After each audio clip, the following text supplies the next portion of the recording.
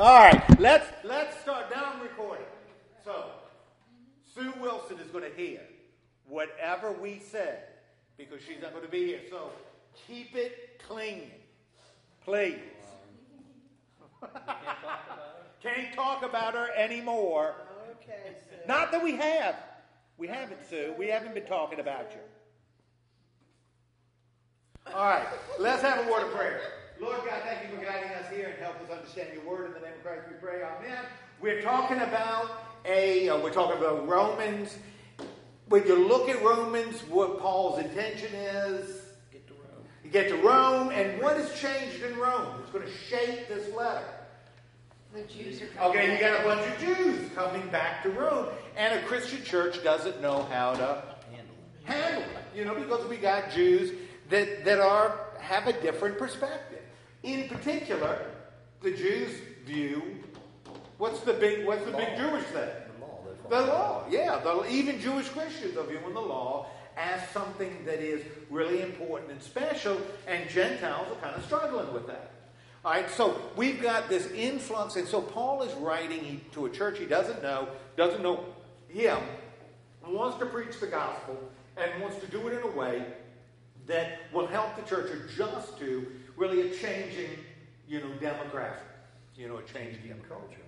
well, you know, and, and now that, and I hadn't even thought of it before. Just like what we're talking Yes, well, in a way, we're dealing with that in the church now.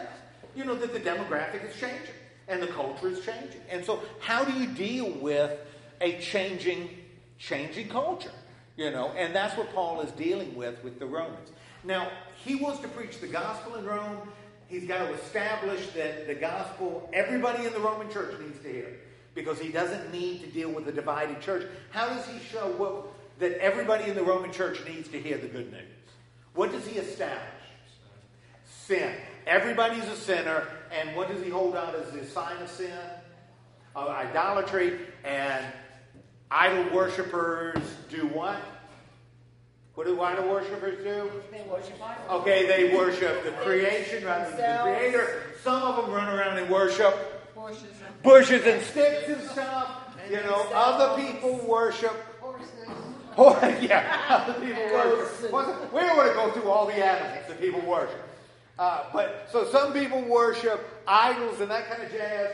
Some people worship themselves because they put themselves up as God. Other people work. Well, how does he show that people worship themselves? Well, they, they judge other They judge the people that are worshiping books and st- bushes and sticks and stuff.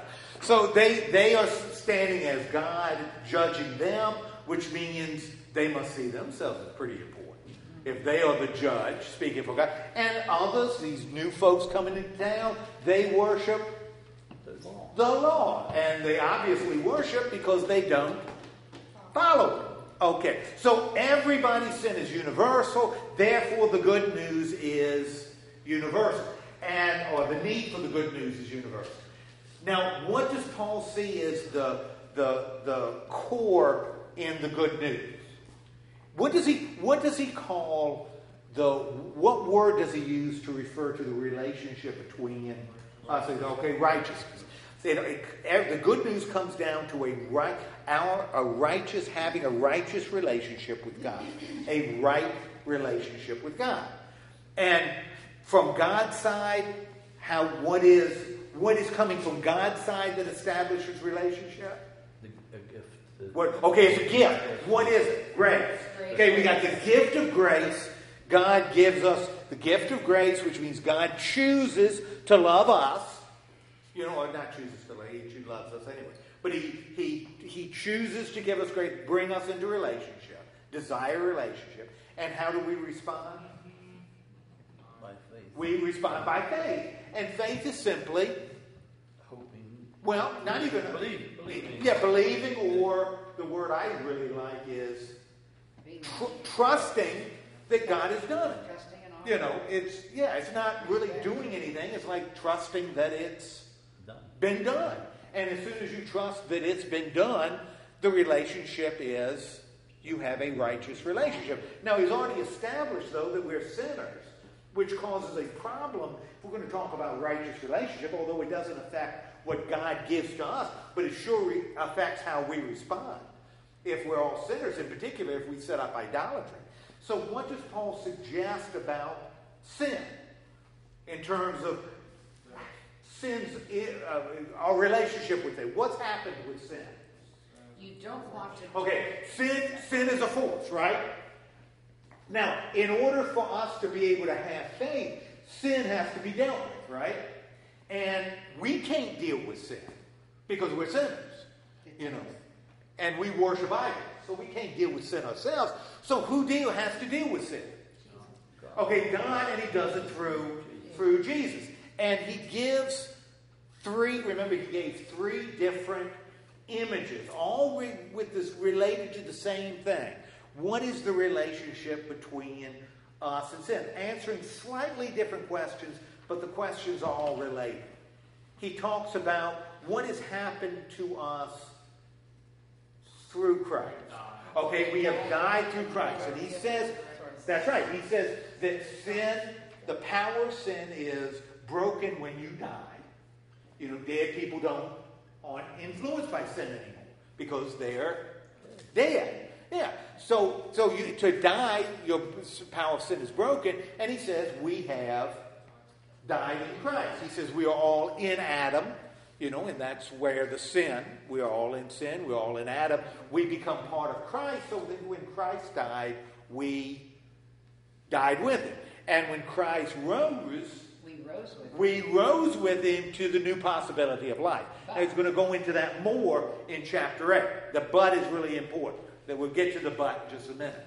Then he then so that's an image he uses. Then he talks about what then he talks about being baptized into into the death of Christ. So it's a practice that they use it. We join into Christ through baptism. Okay? So we have experienced we are the walking dead, right? Because we have died in Christ. Now, then he uses the image, well, then even if we've died with Christ, uh, who says we have to follow Christ? Listen to God, right? And then he uses an analogy of slavery. And what does Paul suggest about slavery? Okay, that the ownership has been transferred. Now it's interesting in the eighth chapter, he's going to modify that a little bit.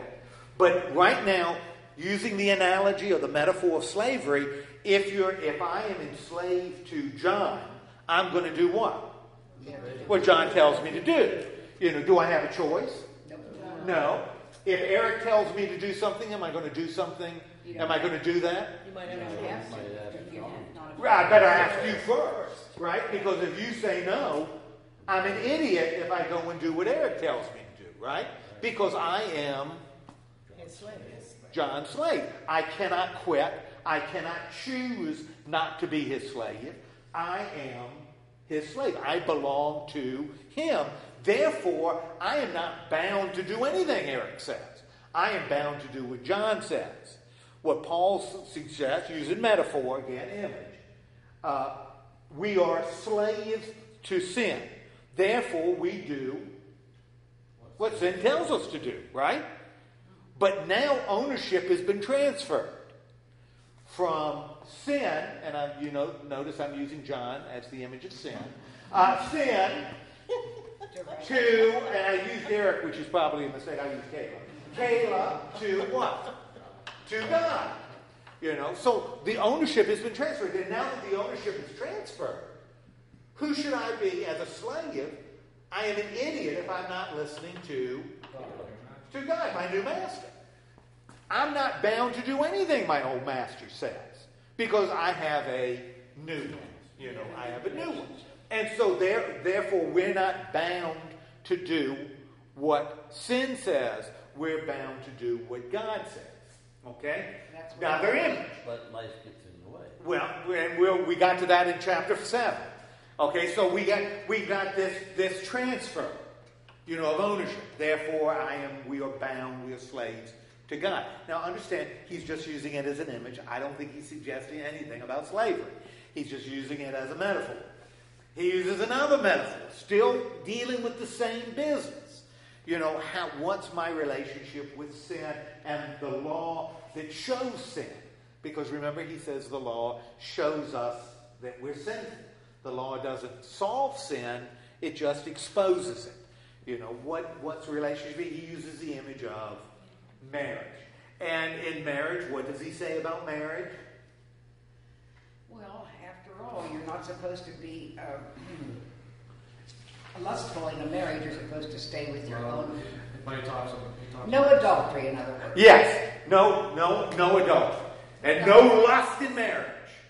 Absolutely. But if the husband For one another. That's right. If if uh, if your husband dies, if a, if if two people are married and uh, you are you're married and you can't fool around, right? No fooling around. That's against the law, against the rules. But if if you kill your husband, no, if your husband dies, You yeah, yes, yeah, you kill him with kindness. Yeah. Uh, you know, if, if your husband passes, are you bound to the law anymore? Heck no! You can marry anybody you want, except somebody else who's married, which creates another problem. But you, you're free from the law. You're not bound to the law anymore. So you are free. Now, again, I don't think this is, has anything to do with divorce has everything to do with illustrating the relationship between us and sin. So, three times he's shown Paul has shown that we are free from sin, right? But we still- And bound to God. And anybody with any sense, well, if you if Paul were teaching this in a class, you know, like a, a high school, college class, everybody's writing down, taking notes, right? You're taking the notes. Because you know on the test, you're going to say, we are free from sin and bound to God. You know, because that's what we're going to put on the test. But we know what? we're- ain't, we, we are still doing nasty things. You know, that's right. We, we're going to put it on the test because that's what the professor wants, right?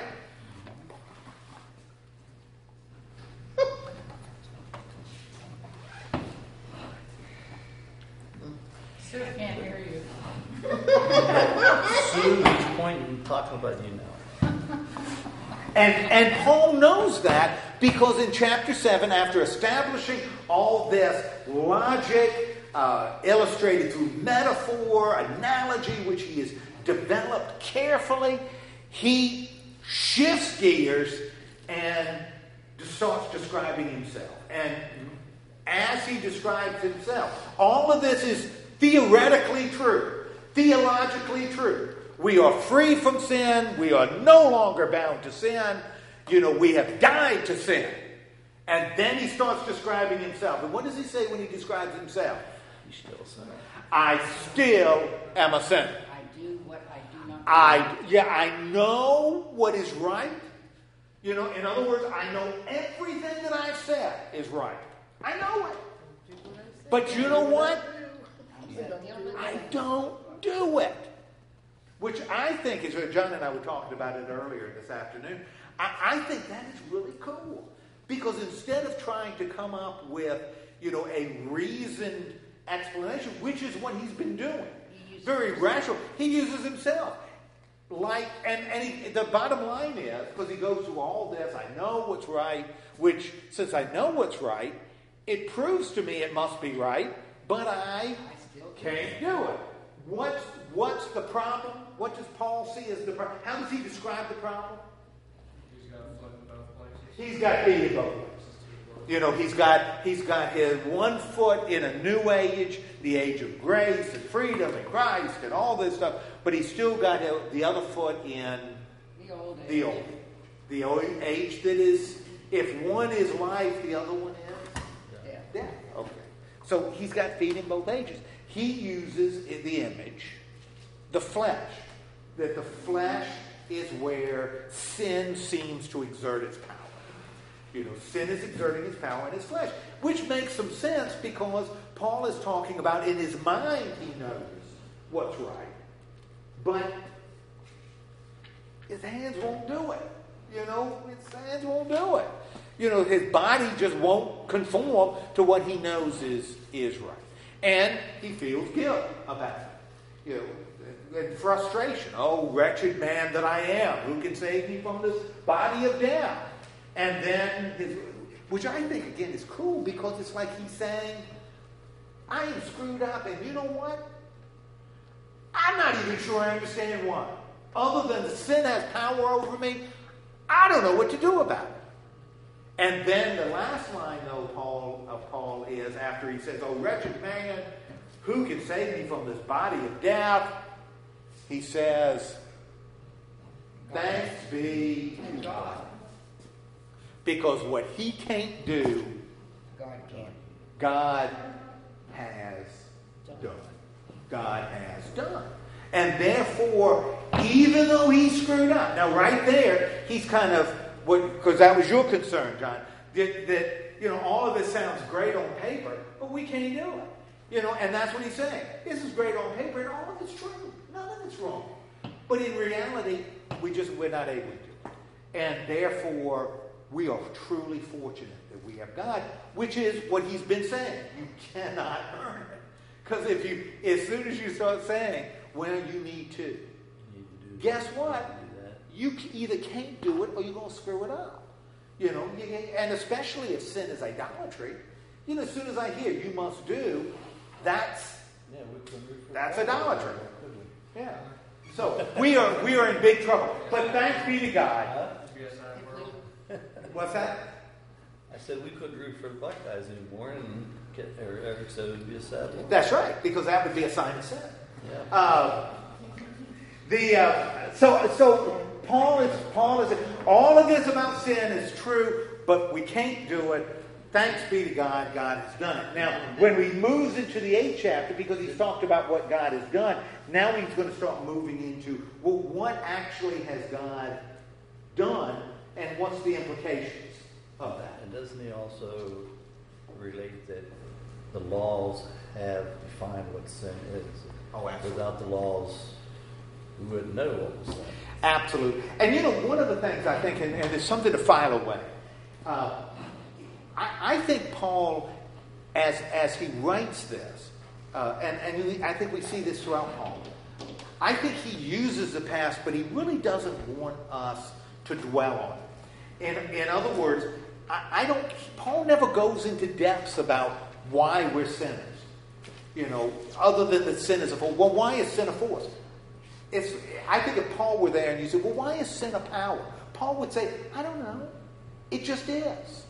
You know, I, I don't know if I've got an explanation for why it is. You know, why am I five foot eight and a half? I don't know. I just am. And I think that's what that's what Paul says is saying about sin. And I think that's what he's also going to say about redemption. You know, I don't know. It just is. And, and I think that's something really important to file away with Paul. You don't want to push his uh, evaluation of the past too far because I don't think he cares much, as much about the past as we do. I think he cares a lot about the present right now. Present. You know, what do we do with it right now? Okay? And that's what he's going to talk about in chapter 8. You know, it's like he's done the sort of the bad news, the worst of it at the end of chapter 7. Now, chapter 8, he can start talking about what is, what's on the positive side of this. If God has done it, why is this a good thing? And as we open chapter 8, what do we, what do we have? Pretty good news at the beginning of chapter 8, right? In.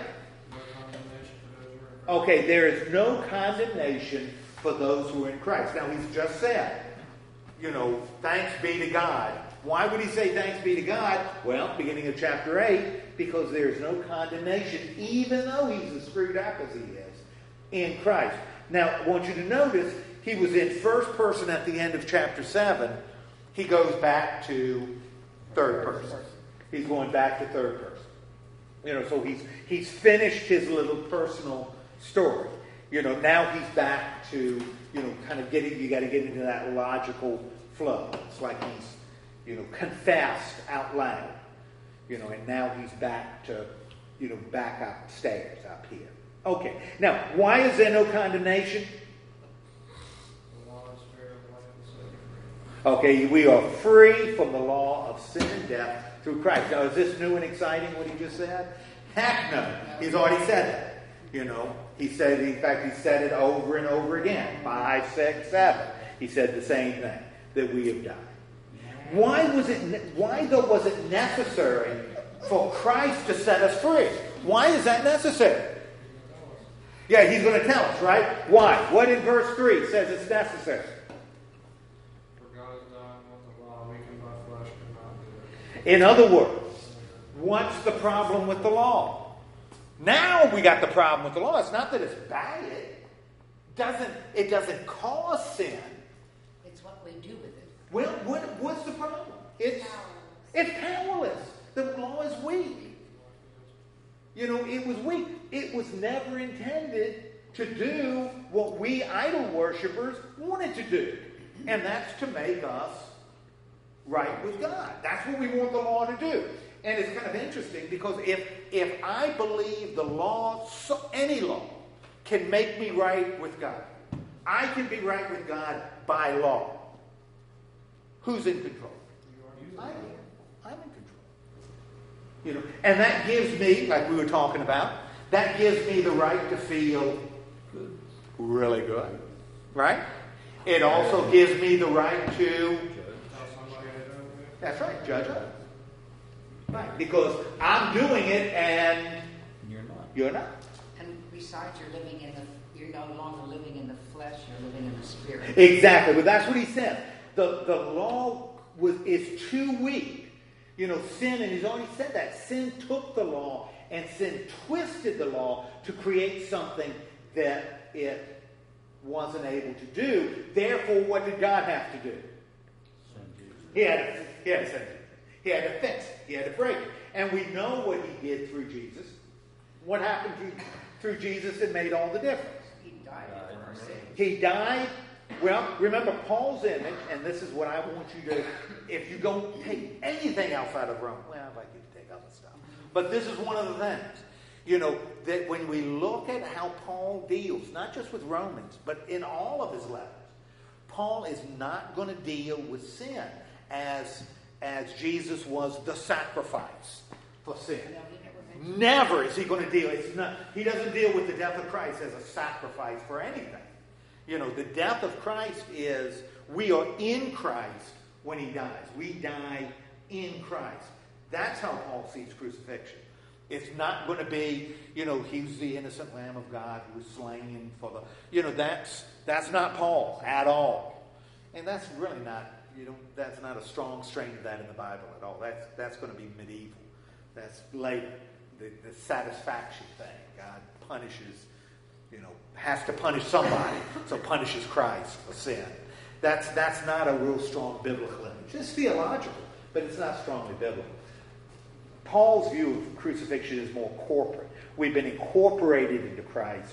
We, he died, we died, he rose. In one sense, we rose. In another sense, we will rise. You know, in the in the future.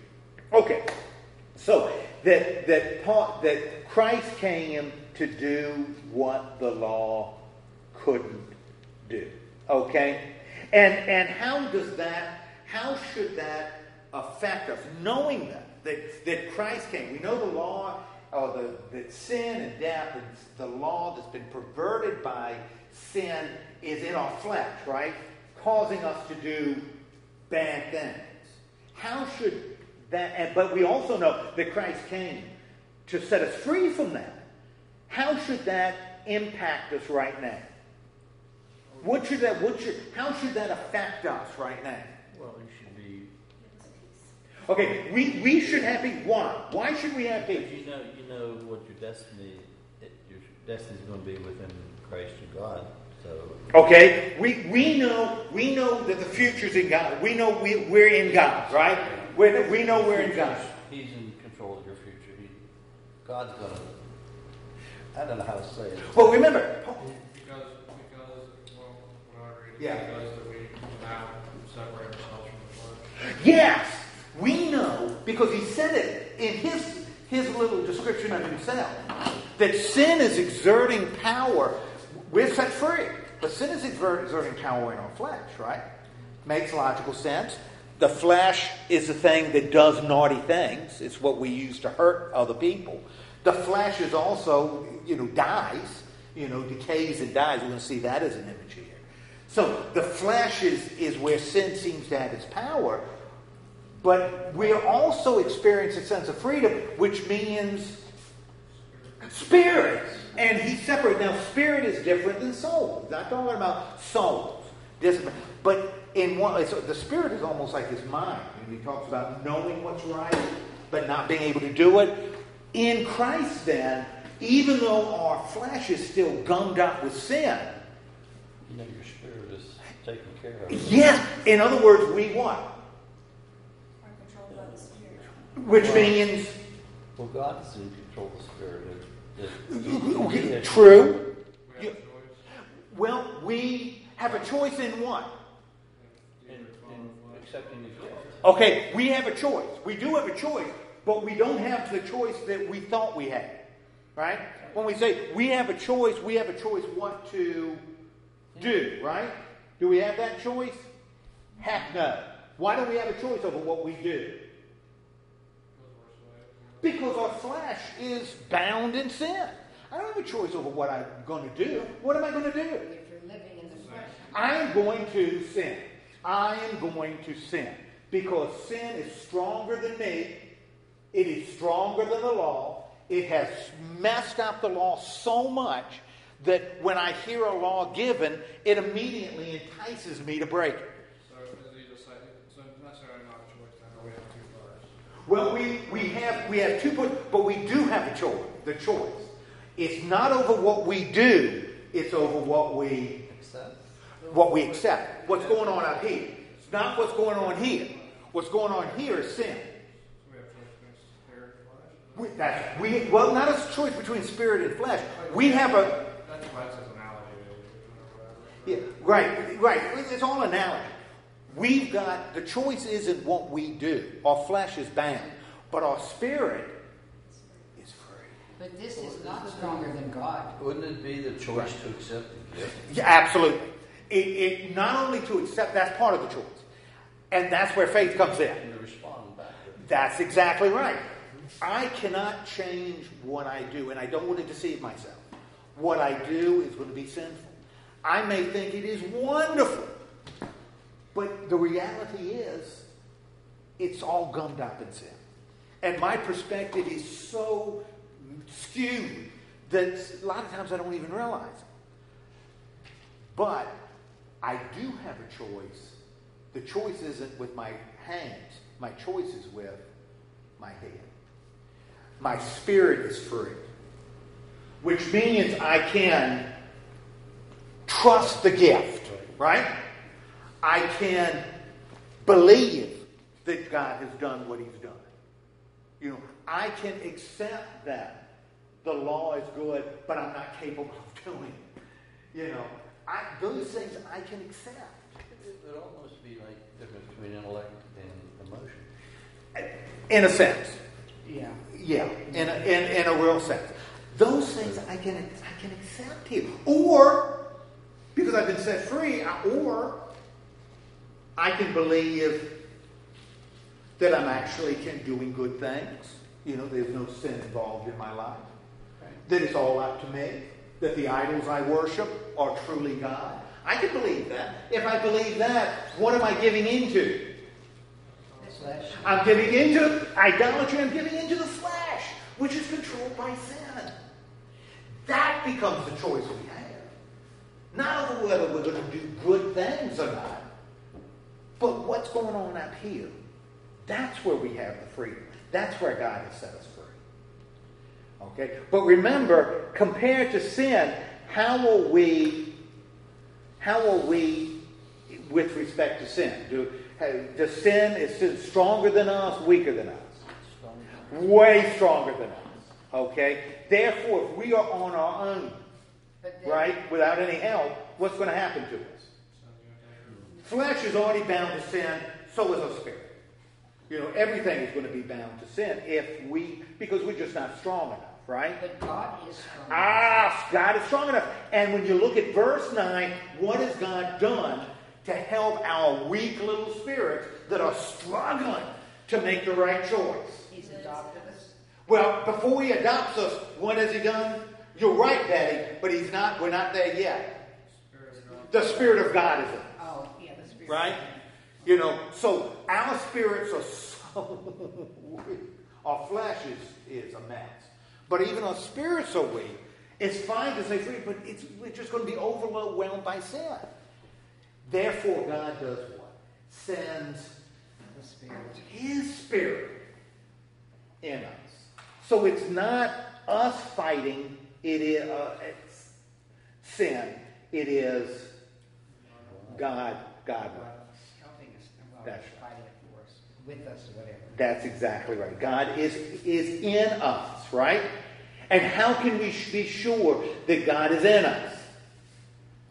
How can we be sure that God is in us? That the Spirit is in us?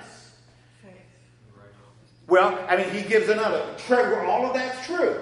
But he gives a, sign, if you look at it, still in verse 9, that, that the Spirit is in us. He, Say it verse Um, talk about- well, You're not in the flesh. if you don't belong to Christ, you don't have the Spirit. If you don't belong to Christ, you don't have the Spirit. Which may tell, tell us, because he's writing to this Roman church, that the idea of belonging to Christ, which he's kind of talked about being in Christ earlier, was a big deal. They knew it. So the Romans believed that they were in Christ. That was something that they, they believed. They belong to Christ. Remember, he also said our ownership was transferred, you know, in, in chapter 6. You know, we're no longer slaves to sin, we're slaves to God. So if we belong to Christ, then we know we have the Spirit. Therefore, I don't need to what?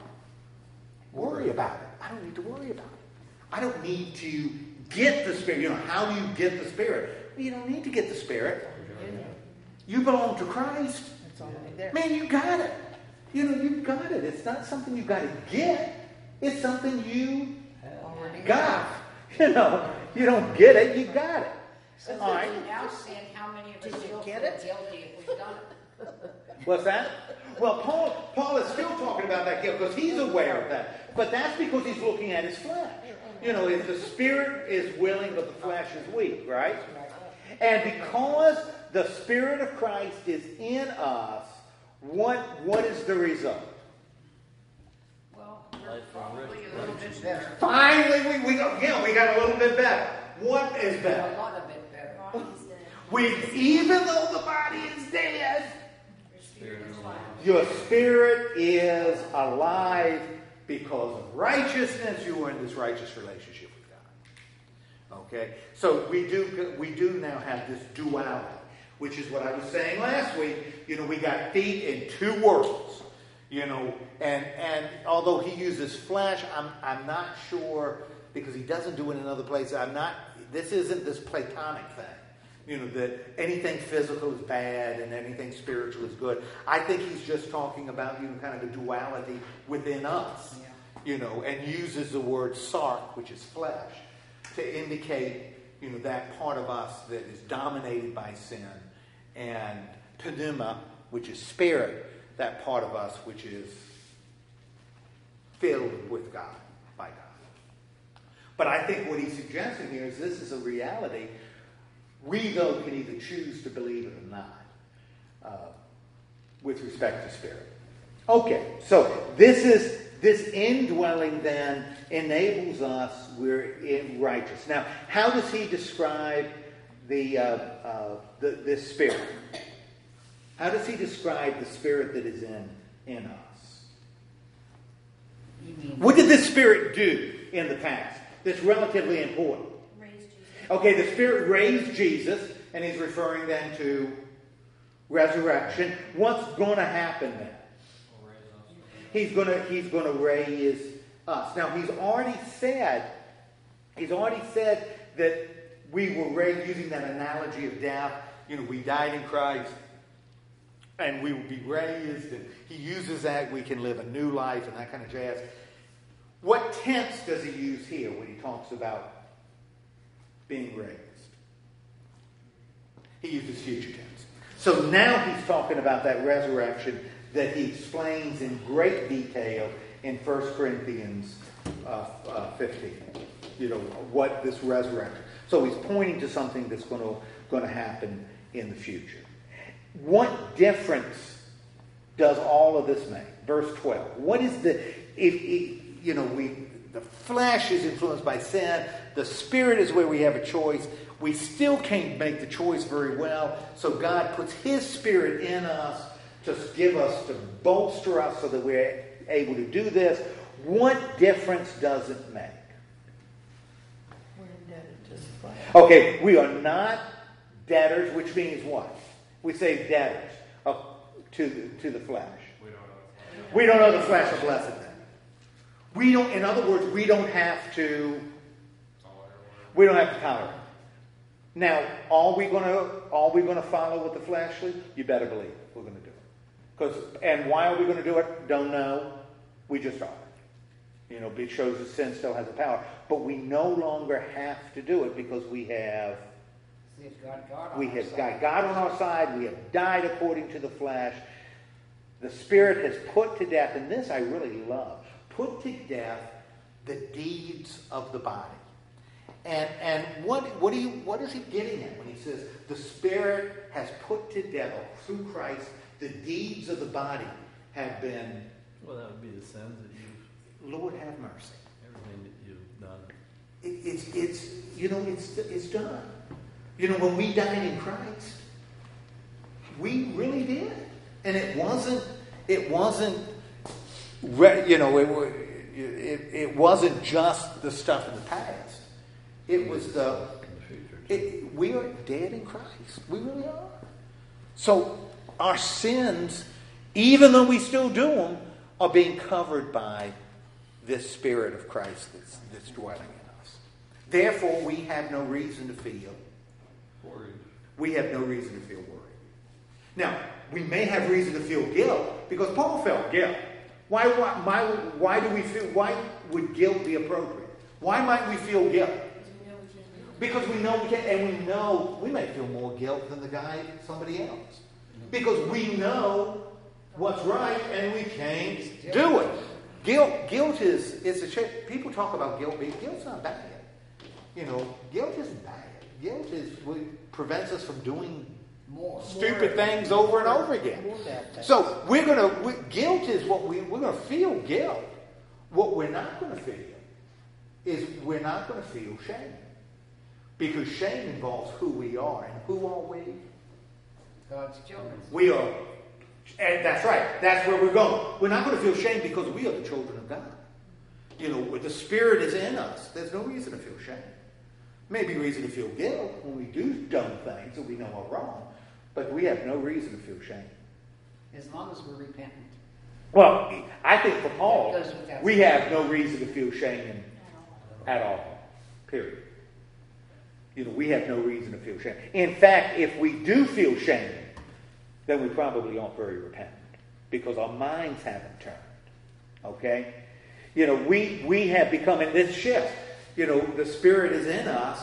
We've died. We are now, and he does, now he doesn't talk about slavery as in a traditional sense. We were slaves to sin, but we're not slaves to God. We're alive in the Spirit of God. We are alive in the Spirit. In fact, what are, what are we with respect to God now? Lord have mercy. We have become Yes. We're bonded with Him. the children. Verse 14. We are the children of God.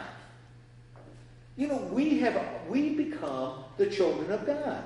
Now, where's where's this happening? This is happening up here. What's our flesh doing? Bad things. Still influenced by sin. But here we can trust that we have been adopted as children of God.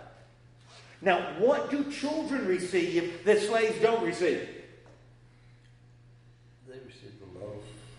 Okay, they, they receive they receive love. They receive what else do they receive? Grace. And from their They receive their heirs. They receive an inheritance. Slaves never inherit. You know, don't inherit anything. But Paul even tells us the two things, two of the things that benefits we get out of being children of God. What's the first benefit that we get? Which I think is tied to this love business. What can we do that no slave can do? We can go to, to God and call him Father. Father, but even beyond Father, we can call him Abba. And what's the difference between Abba and Father? We can approach God and call him Abba.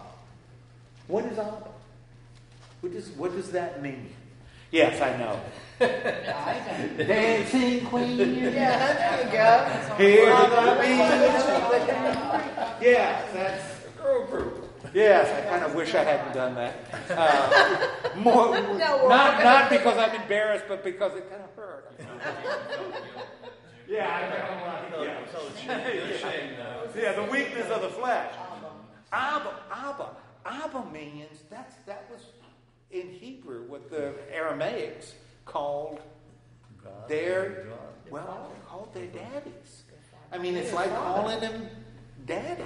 Oh. I mean, it's it's a very personal. It's a very personal. A loving and personal relationship. You know, so it's not just yes, Father, I am here, Father. Can you help me, Father? But it's like saying, It's a Dad. You know, Maggie calls me. Well, Maggie calls me the Reverend Doctor, but th- that's that's what we Uh, look, if my mother ca- has to call me that, so does my dog.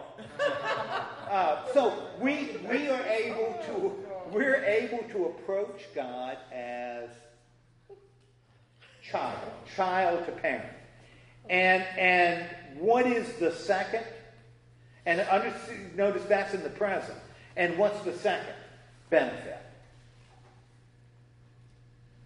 We're heirs. We're heirs. Okay, so if we are the children of God, we can approach God as His children. as dad. Yeah. We can also be sure that We're gonna inherit. we're gonna we're part of the we're part of the will. You know, sort of like I'm going back to Virginia in a few weeks because I need to make sure You still know where that I'm part of the will. Uh, you know, we'll. Uh, Over that part of the. what's wrong, Susie? What are you going to do if you're not? Yeah, well, I don't know. I'll be calling him Abba some. You know, that's that'll be bad. I saw I went through there Saturday. He He'll said be you're washing okay. feet, that's what All right. Um, Oh. So that's what we have in the present. Now, Paul then starts talking about about future with the future. What? How does Paul describe this this future? Because he says, you know, the, the problem, and, and John, I think you've kind of alluded to it before. You know, it's fine to say, you know, we can call him daddy, we can we, we're going to be heirs, but you know something?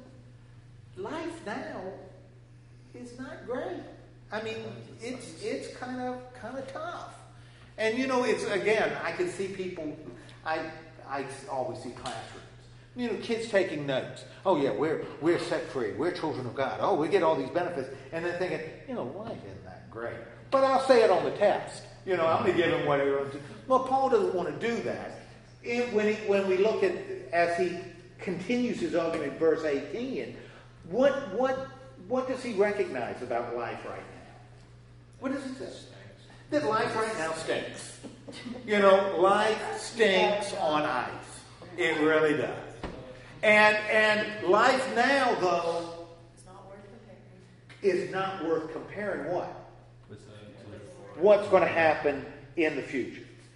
Now, what what does Paul say? Because uh, we got this series of fours, just like we've seen over and over again in this letter. We got a whole bunch of fours where he's explaining what he means.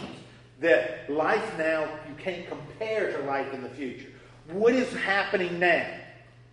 We are creation is subject to futility. Okay, all of creation, which kind of makes it interesting. What then is he suggesting? Logically makes sense. What is he suggesting about all of creation? Kind of an, he's making kind of an interesting suggestion. If all of creation is awaiting the revelation of the sons and daughters of God, are bound in futility, what is he suggesting about what's happening in creation? All dogs go. Close. What is he? What is he saying? We're all God's creation. What is he saying about have the what the reality of sin? They all sin. They all- Sin affects Everything. Sin has perverted not just the law and us, sin has perverted the entire created order. Now, even though, and he's going to explain, he's going to explain that. But even if he doesn't explain it, we can already say, well, yeah, uh, little Zuzu, my hamster, at home, Maggie's hamster at home, which I feed and clean, but it's her hamster. Little Zuzu is influenced by sin. How do we know Zuzu is influenced by sin? Because he does bad things. Well, what's that? He does bad things. Of course. He's, he's saying because it's God's creation. Well, no, he, well, how do we know? I mean, th- how can I definitively know that Zuzu is affected by sin? Zuzu's gonna die. Zuzu's gonna die.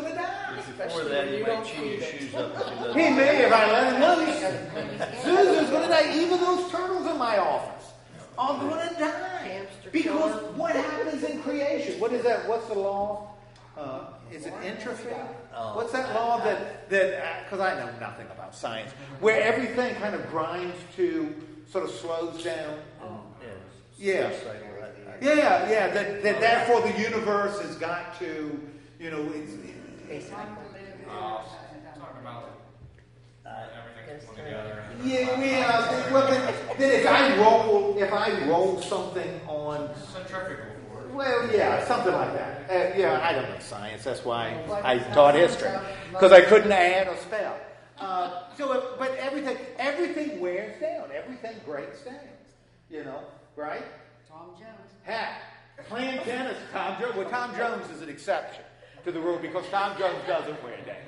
Tom Jones is still is still. Uh, uh, Apparently he doesn't sing because he's gonna live forever. Yeah, that's, that's exactly right. I can tell you after playing tennis with my daughter, I believe. Okay, every even creation, even creation wears down, and it's as though creation understands it because what is creation waiting for? What is the creation waiting for? Okay, Eric doesn't know, and, and that's fine. Uh, what is creation? Creation's waiting for the revelation of the sons and daughters of God. Waiting for redemption Waiting for liberation. Great, waiting for redemption. Are they experiencing redemption now?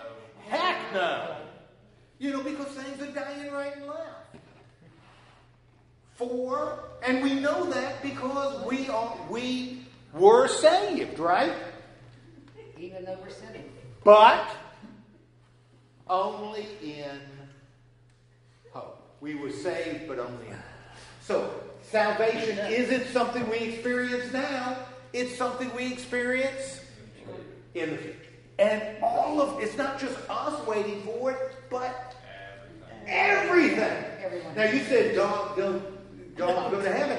I see. I believe that, and I believe that based on Scripture because when you read Revelation and the images, they talk about animals around the throne. Think about all these people who had the near-death experience, whatever they are. That's all symbolic, isn't it? Yep. They, they, I think, I think there's. I also think when when and Isaiah describes the peaceable kingdom, where the lion will lay down with the lamb. These are animal images. I think certainly in Scripture. Now, since I believe that all of this is metaphor anyway, you know, does it mean that actually? I don't know. I don't know. Maybe. I don't know. It makes me feel good. Now, Debbie says she'd rather go to hell because she's allergic to every single animal that will be in the future kingdom. Every animal she'll be allergic to. Oh, every She one. won't have to put all that lotion on her hands anymore. Well, if if there's animals there, she will. No, She won't. You know. And Maggie, there better not be nuts from trees. Pretty dry skin in hell. Yeah, that's right. That's right. Yeah.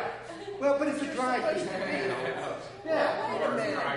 Yeah, or dry cold. You're That's supposed to right. be free from, from all disease and all of that when you get to right? What's that? You're supposed to be free from all the disease and all of that, so she won't have that problem she She won't have heaven. it. She's- I, I don't, I don't, I don't know.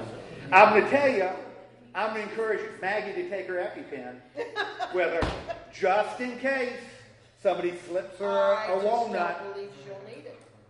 which is really disappointing. Now, I- just out of, and this is really short, every year, every year now, we have to get EpiPens for, for Maggie. You know, because she's allergic to walnuts, uh, uh, tree, tree nuts. She's allergic to tree nuts. She can do peanuts. Because, oh, yeah, that's Oh, awful. yeah. Because it's in Peanuts everything. But she, we got to be real careful because she's allergic to pecans and walnuts and all that stuff. But you know, should we get these EpiPens and then you know what we do with them every year? Throw them out because Throw them they've out. already. I, I would like to see her use them. You know, Oh, I would like to see her use them because we paid for them. Yeah. You know, so I They think I out, tell her, yeah, Maggie, They would uh, go out. you know, how about some Expired. butter pecan ice cream? You know, just and then we could do the EpiPen. You know, on At least you'd be getting your money's worth. I'm one, I'm a good dad. That, you ever had to use it? no. Well, you don't want that heart rate going flying No, miles an hour. no, you don't. You don't want that? No, No, huh? 'cause that's what Well, Well, no, no, but Sue, I'm not gonna, I'm not gonna just give it to her Well, and she can for the heck of it. Yes. I'm gonna make her eat No. and then give it to her. No, no. Oh, they should, they should make EpiPens that don't expire, that you wouldn't have to throw Well, you know, you know something, it's sort of like if you've ever seen that Seinfeld episode where Jerry changes the size on his jeans. We can always change the expiration on the EpiPen. I think they said it would take five years. Yeah, but uh, you don't wanna take that Sometimes you chance. test and see if she's still allergic. Hey, Yeah. you- and we need to test to see if the EpiPen is really good. You're out of. It might not be. Yeah, that's right. Go off the bat. She may not be allergic anymore. I think you're making a good point. All right, I got a question yeah. on where we were just at. What about, you're talking about living things, Yeah, but you're talking about, when you, you said everything. yeah. Everything also encompasses non-living things. Yes. Where does that fall into? I believe, I believe it involves non-living too. I think They everything don't- breaks. well, Non-living things don't die. They may change form, but they don't die. But they, they, Rocks right. don't die. Well, again, we're, we're talking about somebody who has a first century view of the world and writing a metaphor. I think he would see things breaking down, even the physical world breaking down. Um, you know, the Greeks had a concept. The Greeks believed that things broke down. Know, because they could see small things breaking, and if small things broke down, they could apply it to mountains, and mountains would wear down eventually. Given enough time, they'd wear down. Well, I would say, yeah, they wear down, but they don't die. Well, true, true. Although, although I watched, I watched lava at the beginning of uh, Inside Out, and if a volcano can fall in love, they can do anything. Okay, I think you're right, and I and I, but I do think he's saying all creation. When he says creation, I don't think he's just Well, limited. that could apply Yeah. to today's astrophysics. Sure. With the universe, because Everything what is built Eric was that. alluding to, the universe is still expanding, but Mhm. if you try to put God in that, it kind of like gets a little cloudy. What? Well, God isn't cloudy; He's crystal clear. No, clear. I mean- no, I know. what? What? What? I think Paul, if he could write now, and if Paul were writing now, he would know quantum physics. I mean, he. I- Uh, I mean, he just know. I would Uh, think he would too. I think yeah, would I think he would know. You know that that I think God is surrounding. What's What's exciting is the universe is expanding, but God is surrounding the expansion you know, which is kind of an amazing thing. Because if something is expanding, even though you know you talk about curving in on itself, there's there's a, something around it. That you know, expanding universe is within God Himself. Uh, I am what you would call a panentheist. Uh, a pantheist believes everything is God. Uh, I'm not a pantheist. I don't believe everything is God. I believe I'm a panentheist, and this that's Greek. That And everything is within God. Everything is within God. And God is within all things. You know. Now, doesn't mean all things are good, but God is everywhere. So everything is within the presence of God, including things like time and space is all within God. So that's what I because I think that's what I think that makes logical sense. Okay, so human beings, we are uh, now. If if that means we still face problems in this life, what what? How does this presence of God within us help us as we deal with the problem I've got with my cracked ribs? With your what? Cracked ribs. Ooh, my. Yeah, I. Uh, how does it? How does it help? How does knowing that we are, you know, God is within us, help me deal with my cracked ribs? Well, I Won't guess always it's have great cracked to. Uh, One, I won't always have cracked ribs. Yeah. I also, the Spirit, because the Spirit is in me. I don't know, Paul says, we don't really know how to pray. But even that's okay. Because guess what happens? He listens to us anyway. Because who actually, who actually is praying? Who actually does know how to pray? is. I think we all Yeah. know how to pray. He- We well- really ask. You know, he does. You know, he, he intercedes for us with groans too deep for words. So, you know, don't even worry about praying. You know, praying is good. Pray, pray, pray. But don't worry that you're not doing it well enough. Because oh, How did guess what? Guess what? God's doing it anyway. Because there's a connection between us and and God. Okay, so God is in us. In light of that, we know what can we be confident of. Even when life really stinks, God's in control, and somewhere in the end, good is on the last page. Evil doesn't win. All things are going to work together for good. Doesn't mean all things are good. But you know something? In the end, the last page of the last chapter, there's, we're going to see later, chapter 9, there are two words mercy, compassion. The last page, always. All things work together for good. Now, it may not feel good, but in the end, It'll work out. there's good. And how can we be sure of that? How can we trust? Not sure. Wrong word. Paul never talks about being sure. You know, how why can we trust that? Because the Spirit is within us. And the Spirit even gives us the ability to accept it. You know. And that's that's pretty good. Okay, Paul's going to come in for our landing in verse uh, 31. And we'll go through this pretty pretty quickly because he's really summarizing what he's talked about concludes this part of the letter. What can we say based on everything he's written? You know, from chapter, the middle of chapter 3 through chap, this part of chapter 8, what can we say according to 31? Saved by hope. If, yes, what can we say to these things? If God is for us, bad Nobody can be us. yeah, if, That's right. If God is for us, now understand, it's a question mark. Also, this is this is one of those things that makes it tough because Greek has no grammar. The ancient Greek had no grammar. So whether these are questions or not, Yeah. don't know. That's even more of a statement. Don't know. They may be statements. They may all be questions. But what's interesting is I think this one is a sta- is a question. If God is for us, who's against us? Because then He's going to go through. You know, who are possibilities? If God is for us, who can be against us? Well, let's list them. Actually, You know. Well, let's see. If God is for us, who can be against us, right? If sin is universal and the need is universal, God has dealt with all, All of them. has dealt completely with the need. You know, if God is for us, who can be against us? Is it God that's against us? No. No. God could be against us. But he, of course, isn't Because because he's done what for us? He's made us more than conquerors, right?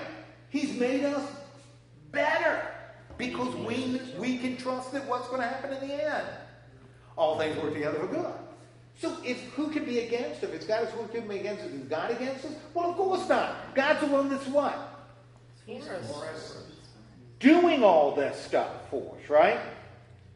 Okay. So If so, who else could be against us? It doesn't matter. You know. God can't be against us because God's the one that does it. God's the one that justifies, right? All right, let's think of somebody else. If God is for us, who can be against us? Who can be against us? God isn't. Who's another possibility? Well, well, Jesus could be against us. If God is for us, who could be against us? Jesus. That's a possible answer, right? Why is why is Jesus?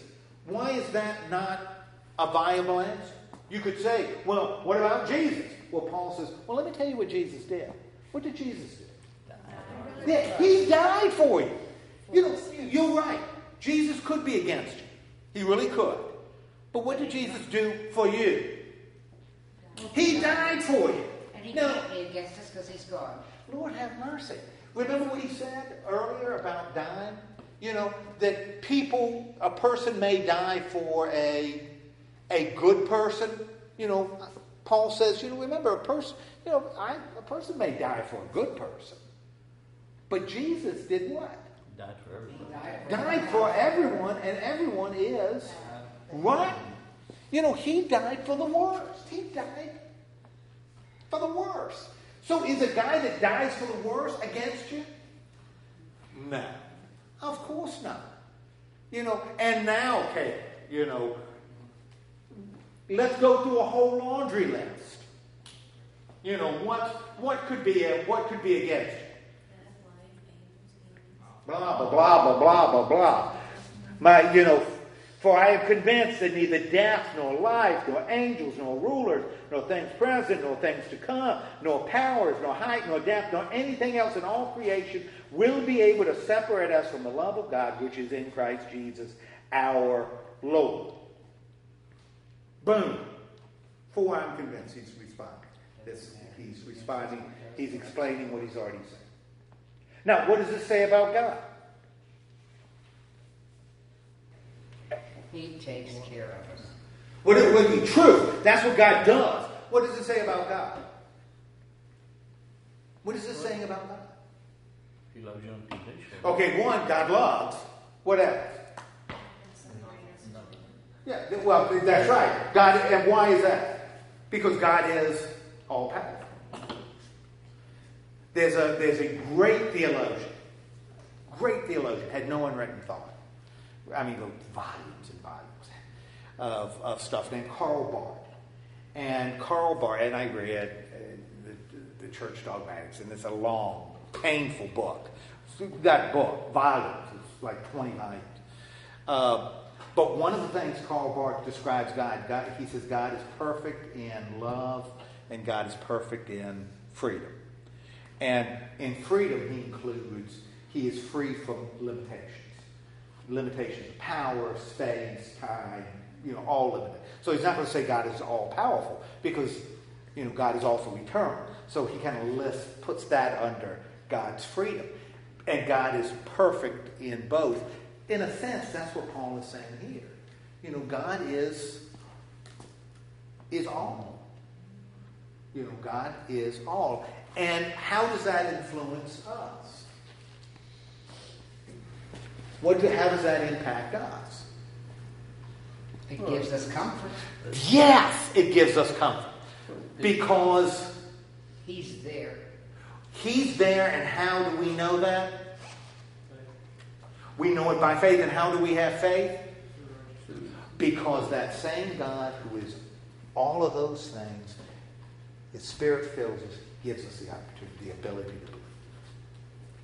And so not only has God solved the problem from His side, He's done what? Solved it from our side. All we have to do is relax and recognize. That's all we and enjoy the ride.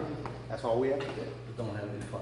Yeah, but don't have any fun. That's right. 'cause that's very that's important to Presbyterians. You Catholics can have all the fun you want, but we Presbyterians, we Presbyterians can't have any fun. Yeah, that's right. What's that? Oh, Oh no no no no no. Cecilia, I am so serious. Uh, there's no fun in the Rudiger House. I will guarantee you. There is no fun in, in the root of grass. Now, understand, Paul has, has done something through the eighth chapter that is absolutely remarkable. What has Paul done by the time we get to the end of the eighth chapter? What has Paul done by this point in the letter? And we're not done with the letter. What has he done by this point? In fact, I don't even think we've gotten to the most, his most important point. I think he's given them hope. Well, he's given them. Okay, tell me what he's done to give to give hope. What has he accomplished at this part of the letter? He's already tore them down and told them they're all worthless and then brought them back up and said, Yeah, God he's- is in control of he's- stuff. Okay, that's a great way to put it. You know, he has absolutely torn them down. That you have nothing. That you are powerless. That you are sinners. That what you have hoped for is is you put your hope in the wrong place because you put it in wrong. Knock down everything, and then and then build up. And the foundation is is God, not you. Just like the Marine Corps. It- it- Except they're not going to say external. You know, that, that it's well, or they're not going to say internal. It's not building. It's going to be totally external. You are still nothing, but God has made you invaluable. God has made you invaluable. He's got our backs. Yeah, He's in you. Within you know, any good thought is what's coming from God. You know, but you're still screwed out, Daddy. You are still screwed out, and you're sinning all the time. You're going to be leaving here, and you're going to start I- I sinning that. as soon as you go. What? I knew that. Yeah, I know because y'all. Are, I don't know what y'all are going to do, but it's going to be sinful. Now, this isn't. This isn't. Now, Paul has made this point. I don't think this is his big point.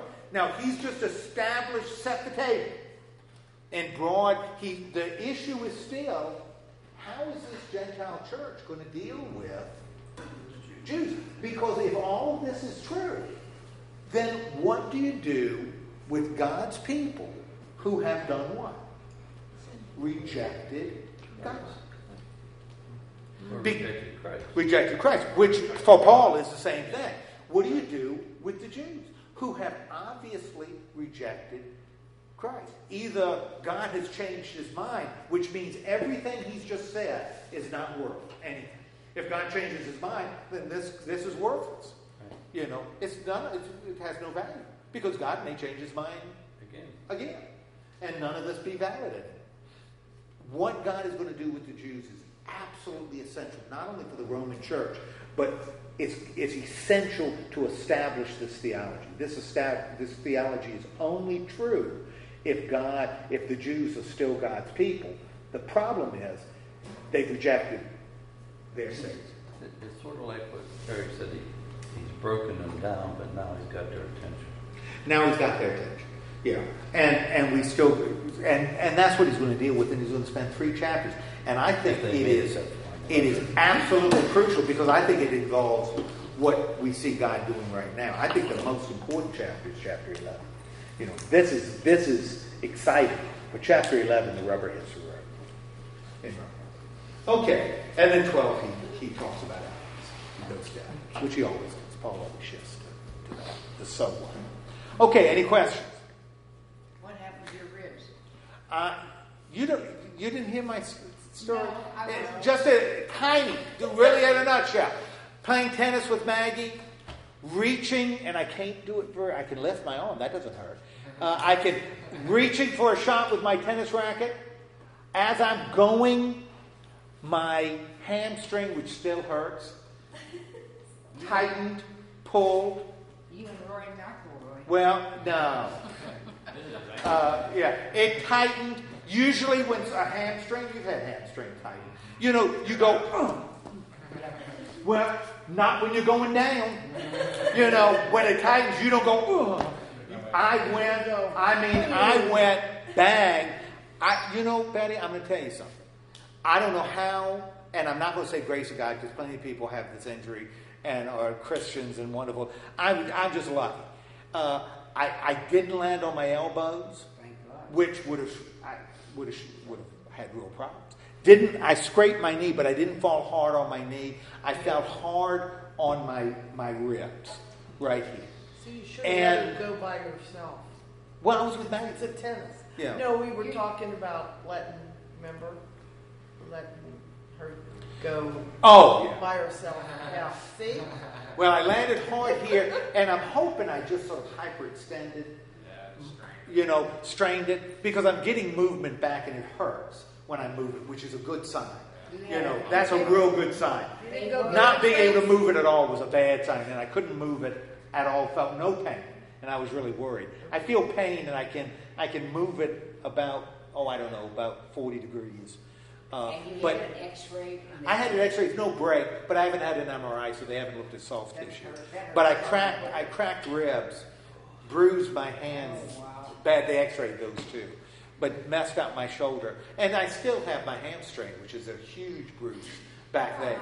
You know where my hamstring, and, and but it, it distracts me from the tendonitis I have in my Achilles tendon. So now I don't worry about that so much. Uh, the hardy part, the hard part is I can't roll over when I'm sleeping. Yeah. I can't Oh, roll over. that's- You know, I'm, I'm flat on my back, which is fine because I sleep flat on my back. Do you read? What? You can't roll over either. Every I roll over, I wake up, I'm like, I know because I can't. Yeah, it's terrible. And so when you, Yeah. when you, I wake up and I want to roll over, I left the other night just from and I roll over, and I think one day it's going to be, you know, the ribs aren't going to hurt anymore. And I roll over, and I think, well, they're not going to hurt anymore. Ah. But it's not today, and so I roll back on my back, and you know, I, I got up once and crawled and to lay on my stomach because I thought maybe laying on my stomach would feel better just as a change because you feel so nasty you know when you're in the your same place. turtle And, and like it was about like on his back. five or six seconds, and I said, I don't like this, uh-huh. and so I'm back to oh, it's Yeah. yeah. I know. it's like being pregnant. Uh-huh. You would have no idea, but it is very similar. I, uh, I don't even want to know. Yeah. So Now you know anyway. what your turtle feels like when he gets stuck on his back. Yes, that's. Well, I'll tell you, when I was laying on the court, after having fallen and rolled on my back and was just laying there, and Maggie was looking over me saying, Dad, should I call 911? You know, and, you know, I she probably should have. Yes, she Probably probably You probably should have. You know, in, in retrospect, she probably should have. But of course, I said no, you know, but she probably should have called when, 911. when was this? This was on Thursday, and and I was I was telling uh, Jackie before. I'm signing off now. Goodbye.